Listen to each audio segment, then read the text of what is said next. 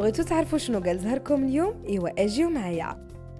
غادي نبداو معك يا برج الجوزاء الأخطاء المتكررة في بعض الأحيان كتكلف الكثير لذا من فإذا كان عامل يتطلب منك التفادي الوقوع فيها لا تقبل على الصعيد العاطفي بإنصاف الحلول مع الشريك فالتجربة السابقة تتعامل مع الحبيب بدبلوماسيه أما برج الثور فلا تخف من مواجهه ما لا شيء تخشاها المطلوب منك فقط التروي والمحافظة على السلامة ولا تفرط في تناول المأكولات الدسمه برج الثور حلم جديد غادي يرافقك فتره سعاده مع الشريك اما فحاول الجو جدل بسبب من الفرص المتاحة للتقدم في العلاقة خطوات إضافية. أما برج الحمل فبعد النجاح الذي حققته أخيرا في العمل باتت معنوياتك مرتفعة وتعزز صحية لا تبالغ في الضغط على نفسك في أوضاع شراكة وعلاقة شخصية ويكون لإحدى النساء أما برج الحمل فيما يحصل.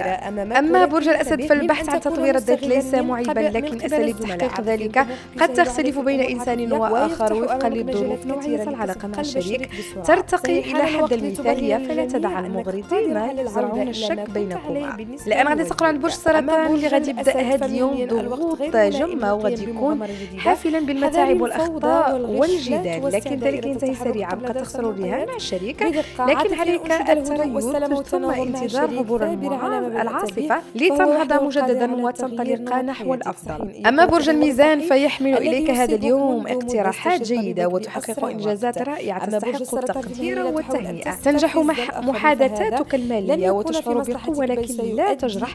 أحدا بكلامك لا تدع الآخرين يستفزونك أو يثيرون أعصابك لينتزعوا منك ما يريدون أما برج العذراء فلا تبدي أي موافقة عشوائية على أمور مصيرية ويستحسن أن تطلع على التفاصيل وهذا أكثر ضمانا لك. حاول ألا تثير غيرة الشريك فقد يصبح أكثر عدوانية تجاهك ويبعدك عن حياتي اخرج إلى الطبيعة. وتنشق الهواء النقي الذي يفتح رئتيك ويفيد صحتك. أما برج الجدي فيكون متحفظا. قد تجد نفسك في موقف ضعيف تستحق لخبر يخص بعض الأصدقاء أو لتصرف يصدر عن بعض الزملاء ابتعد عن المفاوضات والاتصالات وأجل المواعيد تتضاعف الظروف الاستثنائية. أما برج القوس فالبحث المتواصل عن تطوير قدراتك سيكون في مصلحتك وسيعطيك دفاعا.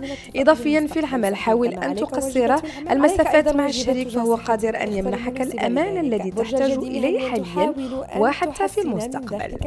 أما برج العقرب فتنجح في تحقيق الخطوات التي حددتها لنفسك وهذا سيعزز موقعك بين الزملاء في كل المجالات لا تستخدم نفوذك لفرض رأيك على الشريك فهو بات يحسب الخطوات جيدة لمواجهتك. نسق وقتك بين العمل والقيام بنشاطات الترفيهية والرياضية التي تعود عليك بالفائدة الآن ننتقل عند برج الحوت اللي خصك تحاول تقرب مسافات مع المسؤولين عنك في العمل فهم ضمانة أكيدة لتقدمك النصائح التي يبديها لك الشريك سابقة وهي تصب في مصلحتك لتمرير يوم غير مستقر.